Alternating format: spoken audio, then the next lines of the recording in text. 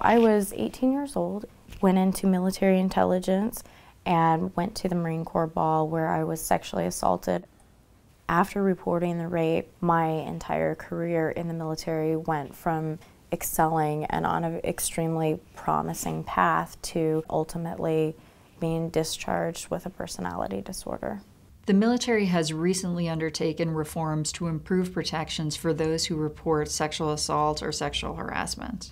The problem is, nothing has been done for the thousands of service members in the past who were wrongfully discharged after they reported their sexual assault. Had I not come forward with any sort of sexual harassment, there would have been absolutely no investigation, so therefore I would have stayed in service. There would have been no discharge, it wouldn't have led to that. We spoke to over 160 sexual assault or sexual harassment survivors, many of whom received bad discharges and are still feeling the impact of those discharges even years after they left service.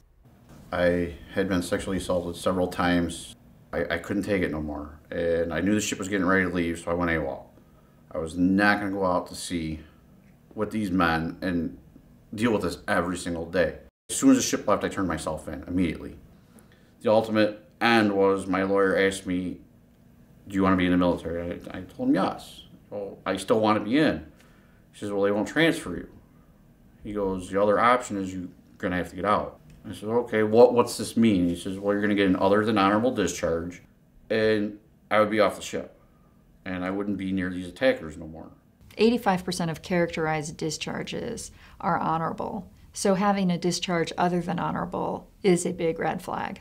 The thing about military discharges is that they can have a terrible stigmatizing effect.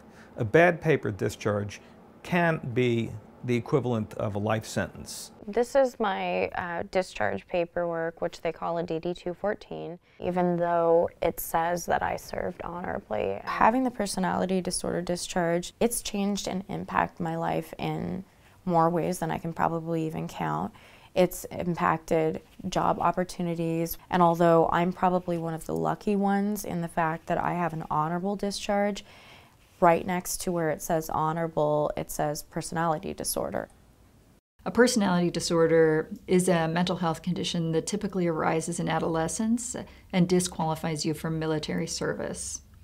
For years, labeling someone with a personality disorder was the fastest way to get someone out of the military. And the narrative for the code says personality disorder, so that would Thousands of people were discharged without proper procedures being followed and without proper medical diagnosis. For many of these people, they were dismissed with less than two years of service, which makes them ineligible for benefits.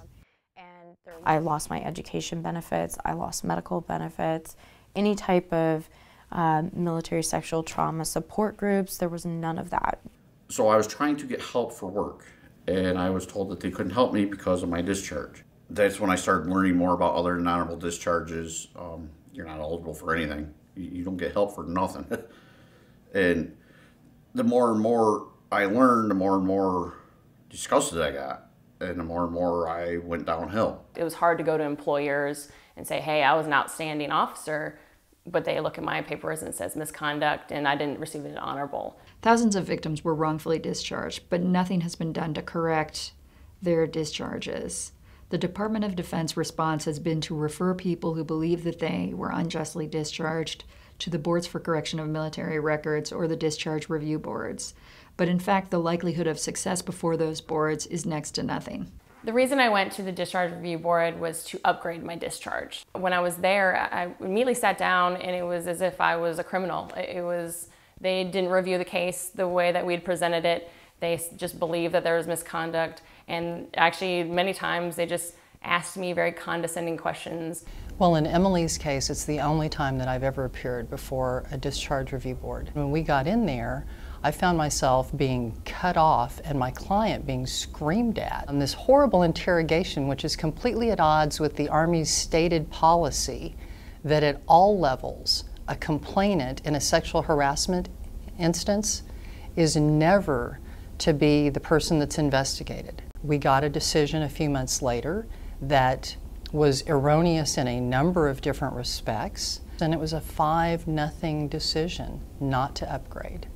Most cases, and I'm talking about like 99% plus of the cases before the correction boards are decided simply as a paperwork exercise in which any individual case may get only minutes of consideration by the board. The boards for correction almost never have hearings. The Navy board, for example, hasn't held a hearing in decades. Honestly, it, it's it's mind baffling. How can you not realize this guy's being sexually assaulted? Look at all these pages, documents proving it, doctors saying it, mental health providers, even the command is saying it. But yet you're gonna uh, not give him an upgrade so he can get benefits, so he can get correct help. Every one of us that has gone through being sexually assaulted and then dishonored and being discharged illegally, we were denied the due process. That is unacceptable because there's other people that have the same discharge that are committing suicide, that turn to drugs and alcohol. And frankly, I'm at the point where it's like, I, I don't believe that they care about us until they start fixing this problem. Given that the stakes are so high for people with bad discharges, it's incredibly important that they have an opportunity to be heard and that the boards are a meaningful avenue of review for these cases. If I would have been able to sit in front of that board and explain my actions, explain what happened to me, so they can connect and understand why I went AWOL, why I missed ship's movement, they would know it was because I was scared for my life. They would know it's because I was being sexually assaulted. They would know because I was doing things that no human should not should, shouldn't have to do.